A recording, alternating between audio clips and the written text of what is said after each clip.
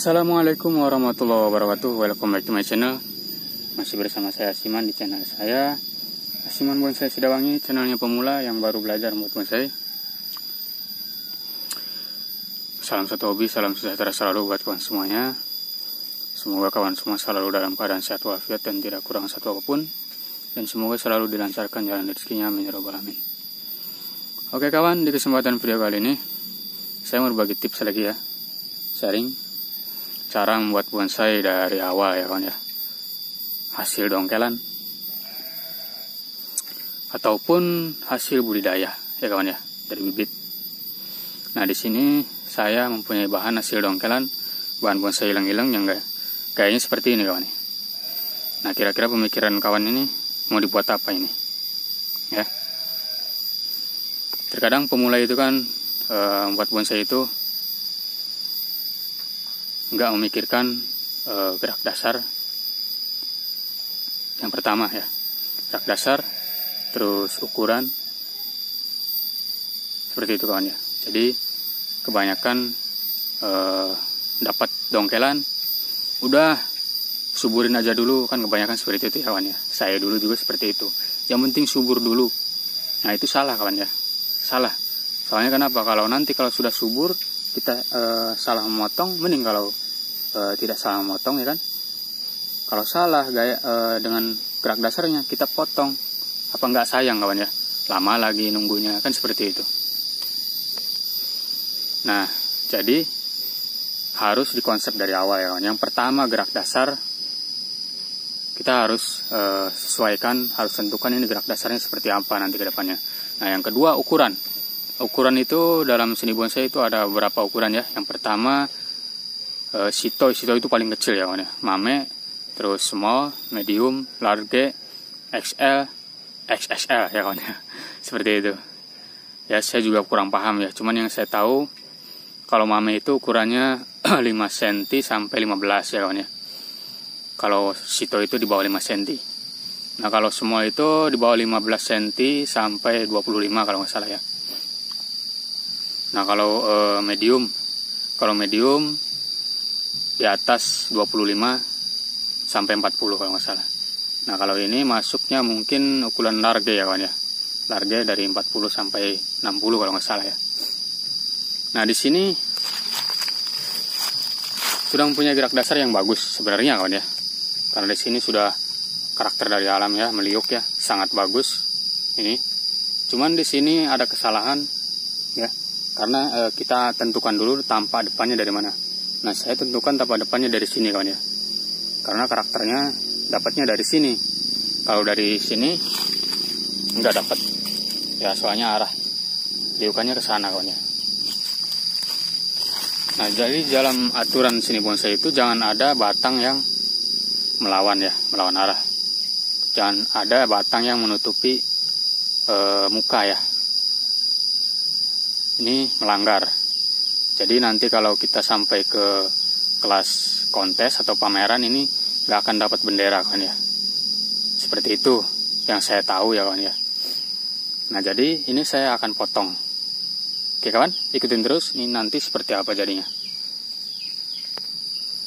Oke kawan, jangan lupa dukungannya, like dan subscribe-nya dan aktifkan notifikasi loncengnya agar kawan semua selalu terhubung dengan channel ini dan selalu mendapatkan notifikasi video terbaru dari channel ini. Oke kawan, kita lanjut.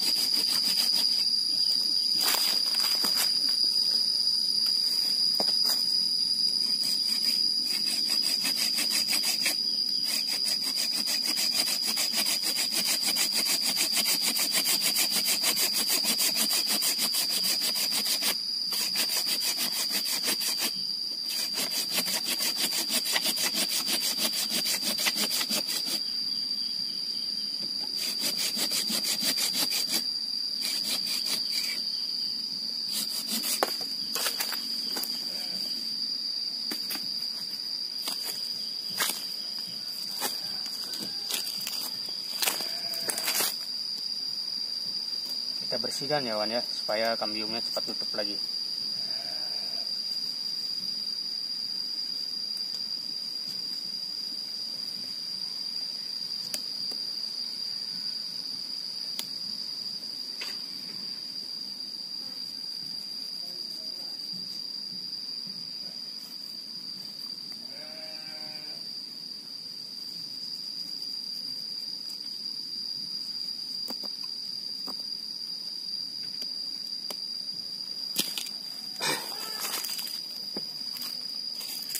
ini termasuknya gaya bunjin ya kawan ya?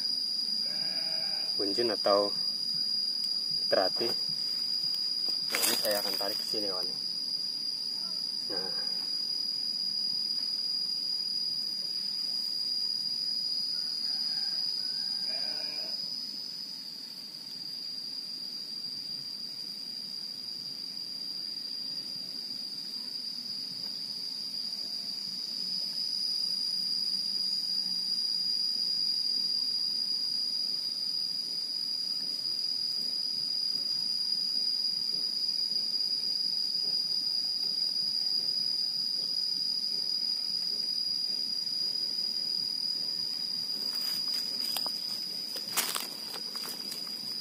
Nah, seperti ini kawan ya. Seperti ini hasilnya. Oh, jadi kan gerak dasarnya sudah terlihat ya. Keren ya, lebih keren dari yang tadi. Ini lebih keren dari yang tadi kawan. Oh, ini sudah ada. Kalau ini dari sini ke sini nggak salah ya kawan ya, ke depan juga. Soalnya ini berada di ujung ya kawan ya. Kalau dari sini ada yang menghadap ke sini, ya menghalangi muka. Nah itu ada kesalahan nanti. Kalau ini juga nggak apa-apa. Nanti kita arahkan ke sini ya ini untuk mahkota nanti. Seperti itu kawan oh ya. Bunjin ini kawan nah. Kalau dari alam kita harus mengikuti. Cuman kita tinggal merubahnya sedikit ya kawan ya. Lebih eksotik terlihatnya. Bahasanya gayanya ya. Pada masih pemula sok keminter katanya Sini saya cuma berbagi ya kawan ya, berbagi informasi, belajar bersama kawan. Intinya seperti itu. Bukan saya menggurui atau mengajari kawan ya. Sini kita belajar bersama. Nah, itu kawan ya. Oke. Semoga video ini bermanfaat dan menginspirasi khususnya para pemula. Ingat khususnya para pemula ya. Bukan senior, kalau senior beda lagi. Bukan di sini channelnya kawan ya. Oke. Salam satu hobi, salam Indonesia. Assalamualaikum warahmatullahi wabarakatuh. Mantap, semangat.